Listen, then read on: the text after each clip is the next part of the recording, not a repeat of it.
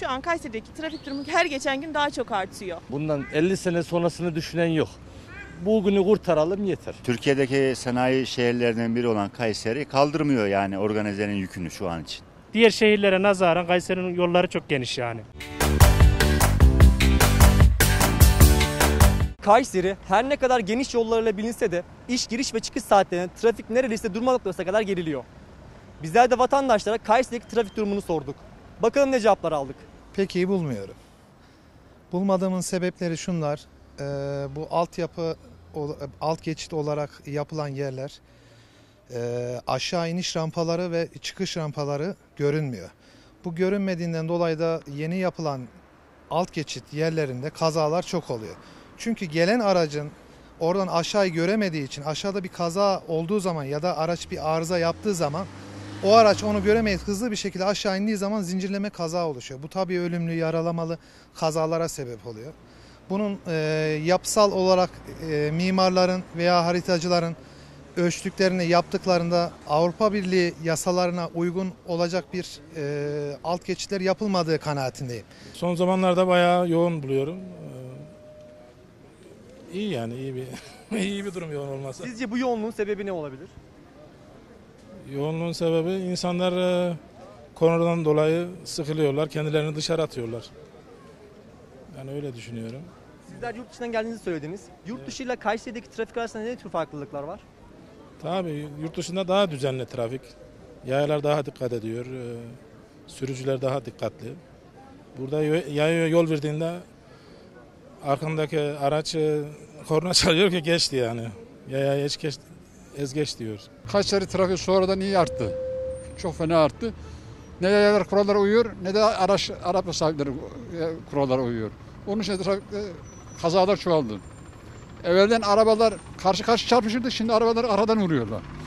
Bunun sebebi de hız, hızın aşırı hız bunlar yaptıklarından. Türkiye şartlarına göre normal ama e, diğer Avrupa şartlarına göre normal değil yani. Niye dersen mesela bu ray sistemi var ya bunlar zamanında yeraltı şeyine konmuş olsaydı çok daha iyi olurdu.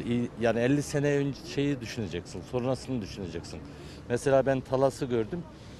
Talas'ta yapılan yollar yeniden yıkılıyor. O anki yani günlük iş yapılıyor. 50 seneye karşı yani bundan 50 sene sonrasını düşünen yok. Bugünü kurtaralım yeter. O şekilde yani. Peki Kayseri'de trafik sizde nasıl düzeltilebilir? İşte şimdiden 50 sene öncesini gerisini düşüneceksin. Yani 50 sene sonra bu kadar in 2-3 milyon, 4 milyon, 5 milyon olabilir. En azından ona göre şimdiden tedbirini alacaksın. Yoksa trafik sakat yani. Organizedeki fabrikaların işçi e, dağılımındaki giriş çıkış saatlerinde çok yoğunluk oluyor. Özellikle Osman Kavuncu Caddesi, e, Belsin'in üst yolu inanılmaz derecede tıkanıyor. E, Allah'tan benim evim o öbür tarafta. Sabah gelirken karşı şerit dolu, akşam giderken geliş şeridi dolu olduğu için ben rahatım ama e, o trafiğe girdiğimiz saatlerce tıkanıyor. Peki bu sıkışıklığı nasıl düzeltebiliriz? alternatif yolların açılması gerekiyor. Ya başka bir çare yok. Ee, Türkiye'deki sanayi şehirlerinden biri olan Kayseri kaldırmıyor yani organizenin yükünü şu an için. Çok yoğun buluyorum. Araç yoğunluğu bayağı epey bir fazla. Biz de bisiklete biniyoruz o yüzden bu şekil oluyor. Sizler bisiklet kullanıyorsunuz bu trafikte. Hiç sıkıntı yaşıyor musunuz? İlla ki, illa ki yaşıyoruz yani. Çok sıkıştıranlar falan oluyor bazen.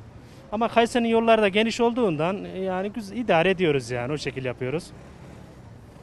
Peki bisiklet yolları yeterince var mı sizce Kayseri'de? Yeterince var. Kayseri büyük şehrimiz genellikle güzel çalışıyor yani. Yani güzel yani. Ko- Yollarımız çok geniş. Diğer şehirlere nazaran Kayseri'nin yolları çok geniş yani. Diğer e, metropol şehirlere göre biraz daha rahat. E, daha önceden daha rahattı. Şimdi biraz daha e, özellikle şu e, şey kısmı, e, Alparslan kısmı orayı özellikle hani biraz daha rahatlatmaları gerekiyor. Me- onu e, tramvay yerine biraz daha yerin altından banyo şeklinde yapsalardı çok daha rahat olur ve Kayseri götürürdü. Özellikle ben şunu eklemek istiyorum. Kayseri ya gerçekten düz bir şehir olmasına rağmen e, şu şehre adam akıllı bir tane bisiklet yolu yapamadılar. Bunu şiddetle hani eleştiriyorum.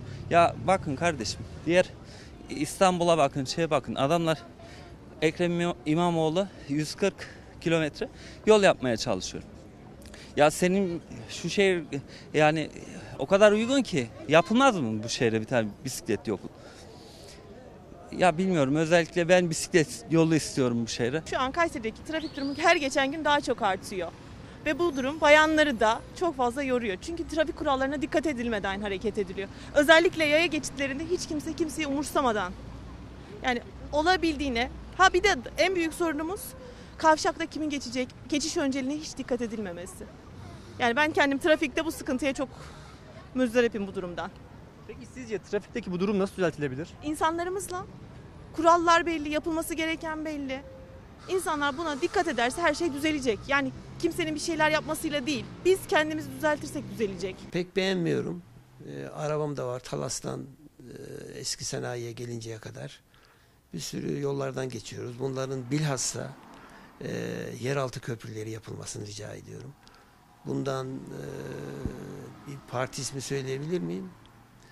E, bir MHP belediye reisi 38 tane yeraltı geçidi yapacağımı söylediği zaman ben reyimi gittim ona verdim. Şimdi o 38 değil belki 58 tane yeraltı geçidi olması lazım. E, Kayseri'de bir yere giderken 50 kere dolaşıyorsunuz bir yeri.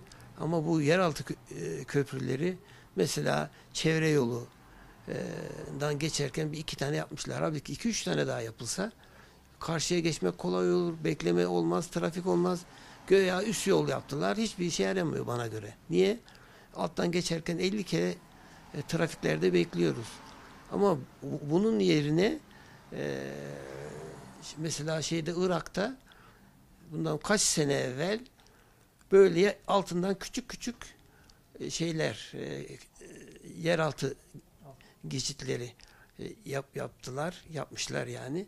Bunu ben Ankara'da 20 sene, 30 40 sene evvelken bir dolmuştayken e, duydum. Yani Kayserimizde de e, 38 değil belki 58 tane, 68 tane ufak ufak yeraltı geçitleri yapılırsa trafik zaten hallolur. İlle yani para kazandırmak için büyük üst köprüler yaptırmaya gerek yok. Bu- bilhassa bu e, yeraltı geçitleri çok çok önemli.